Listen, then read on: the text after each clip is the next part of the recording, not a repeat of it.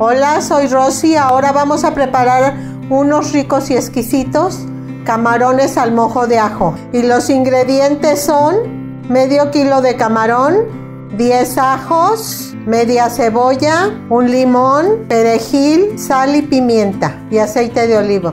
Los 10 dientes de ajo ya están pelados. A la cebolla le vamos a quitar esta parte y la vamos a pelar. Partimos nuestra cebolla en cuatro y la echamos a la licuadora con los ajos, la sal y la pimienta y el limón.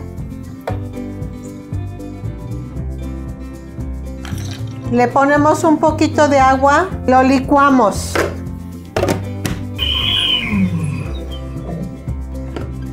Lo vamos a dejar aquí tantito que nos espere y vamos a empezar con nuestros camarones.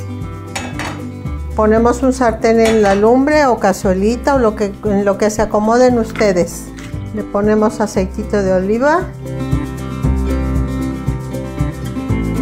Ya está mi aceite caliente, le, le voy a vaciar los camarones.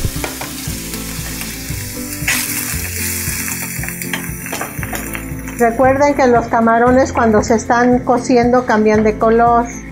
Ya cambiaron nuestros camarones de color.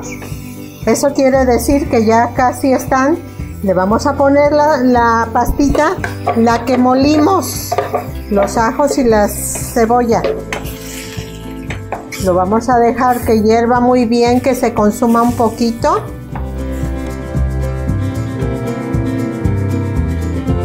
Me dieron una receta de congelar el perejil el perejil, envolverlo en papel aluminio y meterlo al congelador para que nos dure fresco. Miren, yo aquí lo voy a usar fresco para